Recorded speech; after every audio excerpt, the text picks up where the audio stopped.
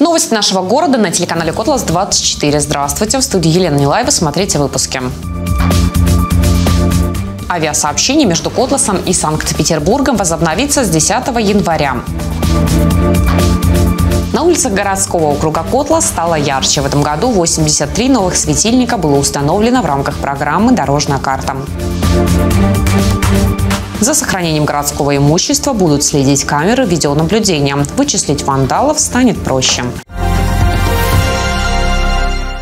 Авиасообщение между Котласом и Санкт-Петербургом возобновится с 10 января. Билеты уже появились на сайтах-агрегаторах. С вопросом возобновления воздушного сообщения между Котласом и Санкт-Петербургом губернатору Архангельской области Александру Цибульскому во время прямой линии обратились наши коряжемские коллеги. Соседей не меньше котлашан волнует возможность прямых перелетов в северную столицу. Для юга региона актуальной остается тема авиасообщения. С аэропорта Котлас в Архангельск самолеты летают регулярно, а вот авиасообщение с Санкт-Петербургом приостановлено до весны. С чем это связано, будет ли оно возобновлено и появятся ли новые направления, например, на Москву? Зимой приостановлено авиасообщение, исходя из норм безопасности, которые э, компания «Руслайн», которая была оператором этих, этого маршрута, э, к сожалению, не, не, не может принять да, и, и полагает, что те типы судов, на которых они выполняли полеты, они, исходя из другого коэффициента сцепления с взлетно-посадочной полосой, зимой становятся небезопасными для полета. Понятно, что во многом, наверное, компания перестраховывается, но там, где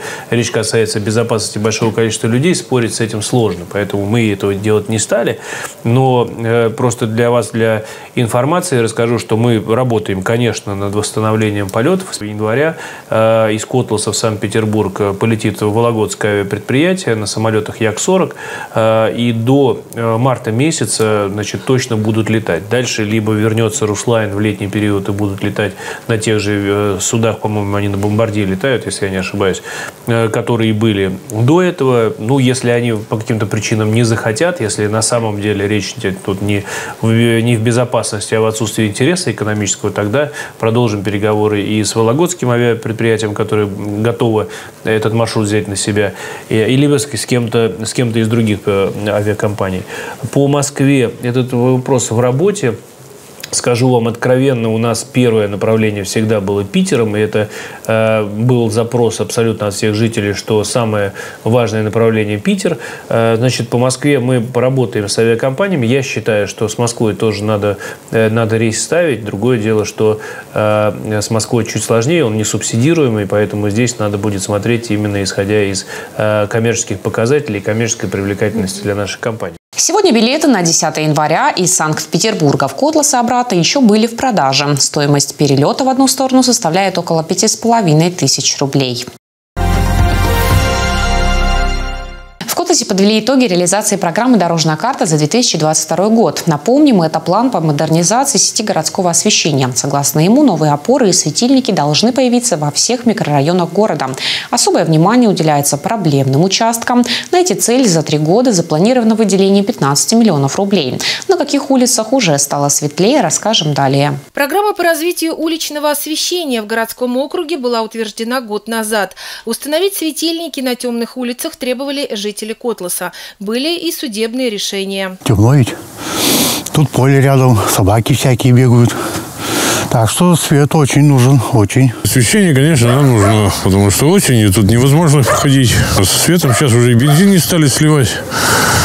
Раньше утром придешь, бак пустой. Сейчас уже получше стало в этом плане. Эти кадры мы снимали в апреле. Микрорайон Бачага. Там было установлено 10 опор и 32 светильника. Потрачено около 700 тысяч рублей. Также в этом году светлее стало в районе Слободки. Переулок Слободской.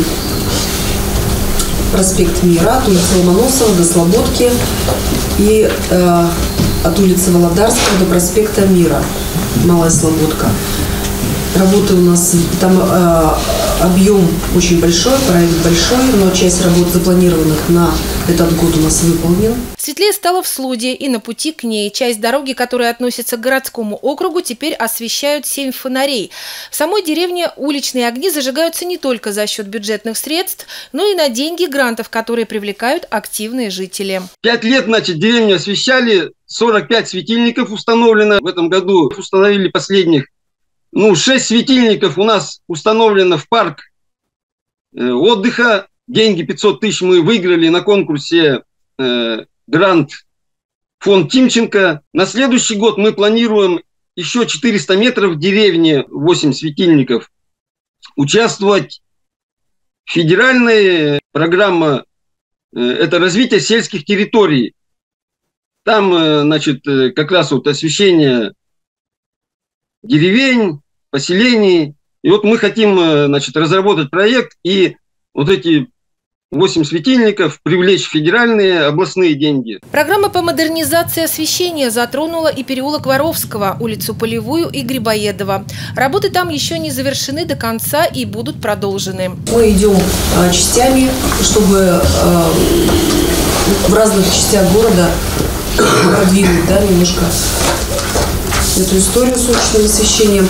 На следующий год у нас заложено в бюджете 5 миллионов рублей – незащищенные, это как раз на реализацию, вот продолжаем реализовывать дорожную карту по городу.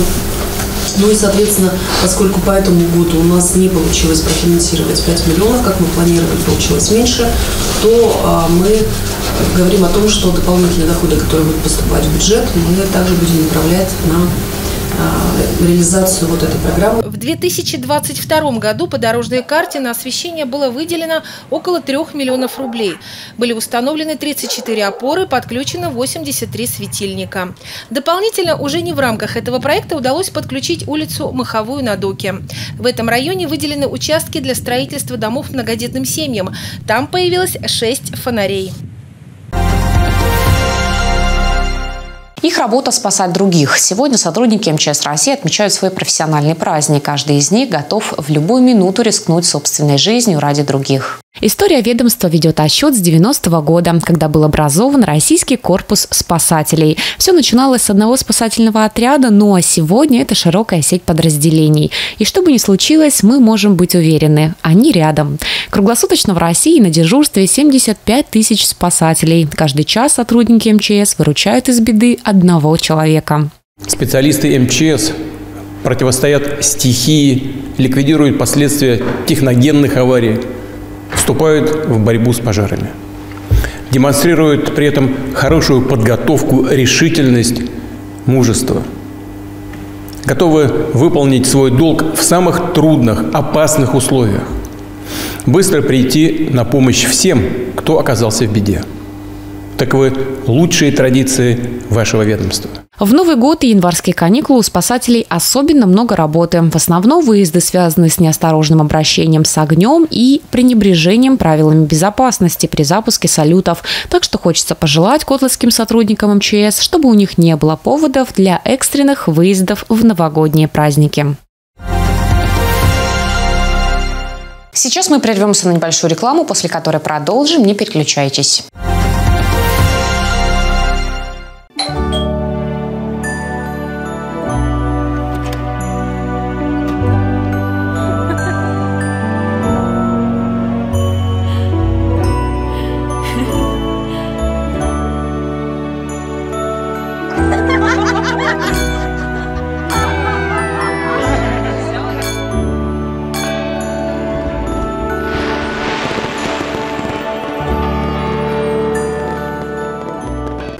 Откройте двери выгодным покупкам вместе с магазином «Грошек». Каждый день с 9 до 20 часов на Маяковского, 46.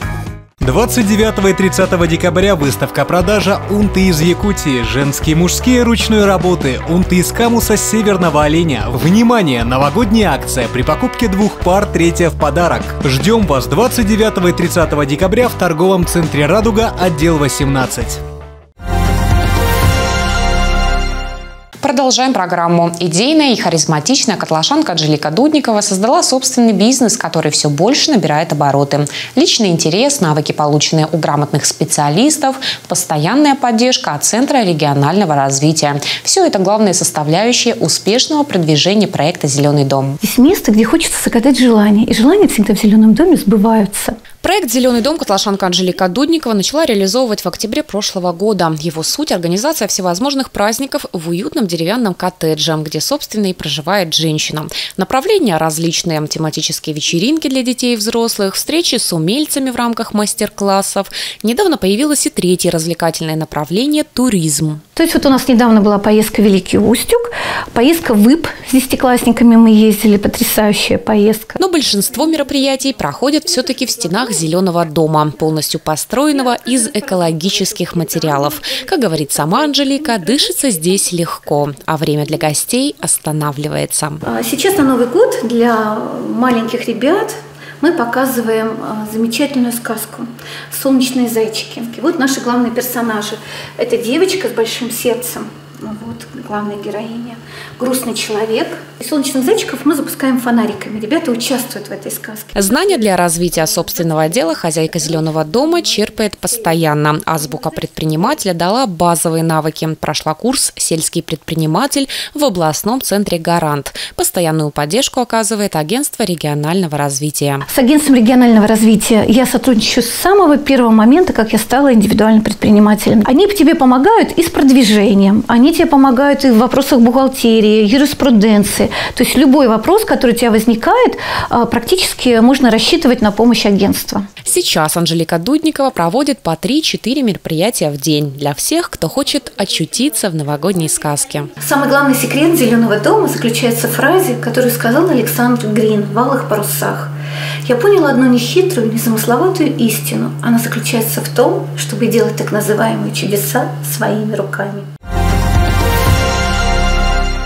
К другим темам. Котловской межрайонной прокуратуры организована горячая линия, куда жители города и района могут обратиться, если нарушаются их права в сфере жилищно-коммунального хозяйства и энергообеспечения. Защита жилищных прав, в том числе при проведении капитального ремонта многоквартирных домов, является одним из приоритетных направлений деятельности органов прокуратуры.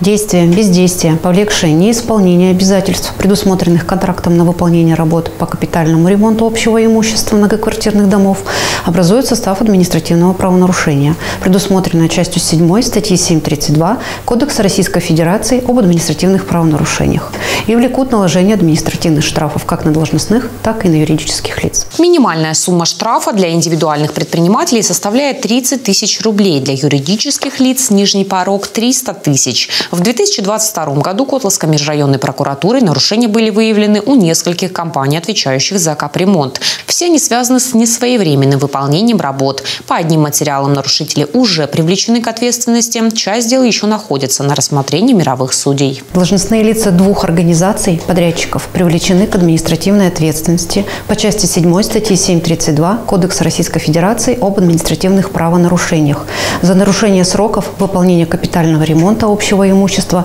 четырех многоквартирных домов. Назначено административное наказание в виде штрафа в размере более 120 тысяч рублей и предупреждения. В отношении двух организаций подрядчиков прокуратурой возбуждены дела об административных правонарушениях по фактам несвоевременного выполнения капитального ремонта в отношении общего имущества 15 многоквартирных домов. За защитой своих прав жители Котласа и района могут обращаться по телефону горячей линии прокуратуры номер 2 13 36 либо по адресу Котлас, улица Дзержинского, 6Б. Двинопарк в Котласе теперь будет находиться под постоянным контролем. За сохранением городского имущества будут следить камеры видеонаблюдения. Скульптуры и оснащение Двинопарка неоднократно подвергались нападениям вандалов. Страдали лавочки, фонари, корабли, макеты звероящеров. Теперь тех, кто навредит Котласе и Двинии, можно будет без труда вычислить и привлечь к ответственности. По периметру установлены 4 камеры и 2 камеры на детской площадке на улице Кирова функционируют в штатном режиме. Изображение выведено на рабочее место диспетчера единой дежурной диспетчерской службы. Архив записи 14 дней составляет. Камеры работают в штатном режиме, изображение качественное, хорошее. Вся информация на сегодня. Новости нашего города всегда доступны на сайте kotlas24.ru и одноименной группе ВКонтакте. Далее реклама и прогноз погоды. Не переключайтесь.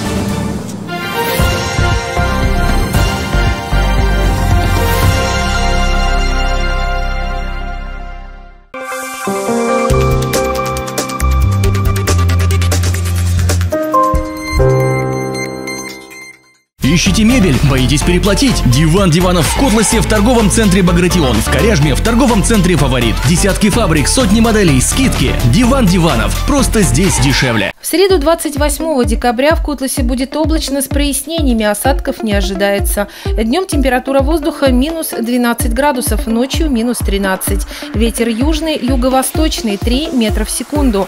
Атмосферное давление выше нормы. Thank you.